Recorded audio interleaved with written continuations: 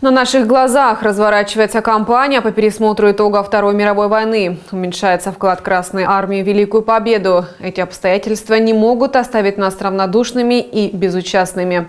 Это слова из обращения президента России к участникам Международной научной конференции «Ялта-1945», прошедшей в Крыму.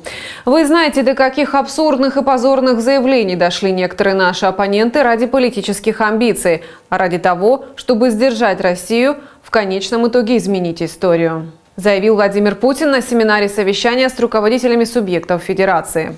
Попытки Запада переписать историю – так была обозначена тема круглого стола, который организовали и провели студенты Краснодарского кооперативного техникума. В актовом зале учебного учреждения студенты, преподаватели, приглашенные гости. У многих на груди георгиевская ленточка – символ победы в Великой Отечественной войне. На стендах выставка творческих работ, книги, газетные статьи, рисунки. Главная цель круглого стола – рассказать правду об истории Второй мировой и понять, почему сегодня некоторые страны пытаются исказить истину. Мы должны знать свою историю, не быть Иванами, не помнящими родства.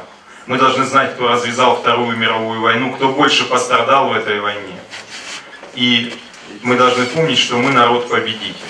Студенты подготовили работы на тему Великой Отечественной войны, о деятельности националистических организаций на оккупированных фашистами территориях, в том числе Украине, о зверствах в концентрационных взрослых и детских лагерях, об итогах Второй мировой войны в цифрах, количестве участвовавших государств, проведенных боевых операциях, погибших солдатах и мирных жителях.